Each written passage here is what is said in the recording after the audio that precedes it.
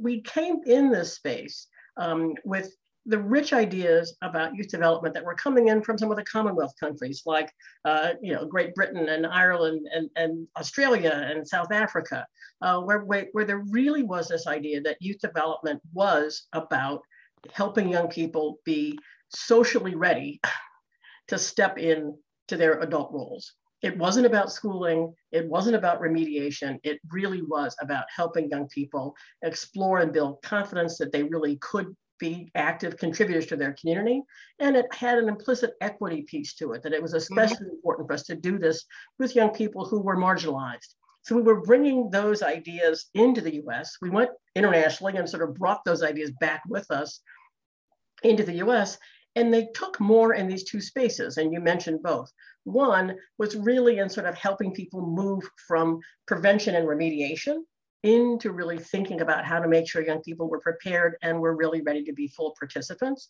So that mm-hmm. phrase, problem free isn't fully prepared, um, that uh, I'm known for, uh, really sort of came through that focus on how we got folks in child welfare and juvenile justice and second chance programs to really not just see that their job was to help young people, to fix young people and get them back up to sort of, you know, point zero, but to actually get them fully prepared, fully ready, fully engaged.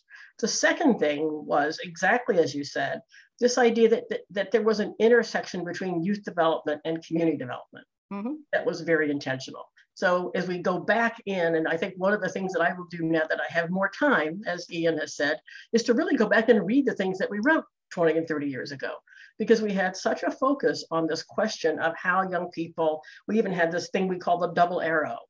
You know, youth supporting communities and communities supporting youth. How does it go together? How is this really this yin yang? And it's so critical to young people's development and, and definition of identity uh, and agency that we really focus on that. Um, but as we were doing that power of ideas, um, and moving to set up the Forum for Youth Investment um, and putting a board together that was really a board that had some of these national folks as well as uh, uh, local folks who were coming from some of the communities we were working in around this idea of youth action and youth agency. Um, there was a phrase that, that both of us remember that the board said to us, uh, and they said, this is great. You've got these ideas moving. You've got the plate spinning. We love the work that you're doing but it's now time to get focused, get grounded, and get results. Uh, and so while I may be the person who's known for the bumper sticker phrases and sort of getting these ideas pushed down into a couple of words so that people can remember them, that charge from the board is really the charge that you took, took on and said, all right, how do we get this work focused and grounded? How do we get it down so that we are meeting leaders where they are and giving them ways to really move these ideas to accelerate progress? So what, what was that shift? What made it happen? How did you make it happen? What did that look like in the early years of the forum as we were getting grounded and getting focused to get results? Uh, I, I, remember the phrase, I remember the meeting. Peter Edelman is yes. the one who actually said it to us uh, and, and, and said that the, these ideas are all great, but they've got to really land with people in places who are trying to get real things to happen um, and, and, and be informed by them and how, to, and how does, what, how does, how does that happen?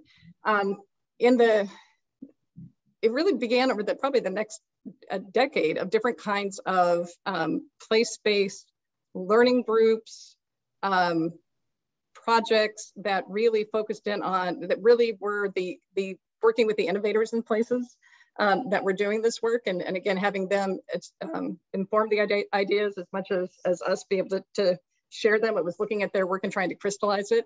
I'm thinking of um, you mentioned the double arrows. I think another um, image that comes to mind as I think about the early days was the, the cube. Um, we had this, this cube that we used in the um, greater resources for after school programming project, right? So this was again going in on the, on the in the community program space. Um, really, actually at the time when the, um, a lot of the, the 21st century schools funding was coming in and there was a, there was a concern again, echoes of the past in today of, oh, there's about, there's a lot of money that's about to come into communities. How does it lift up the work that's already happening and not somehow pave over it?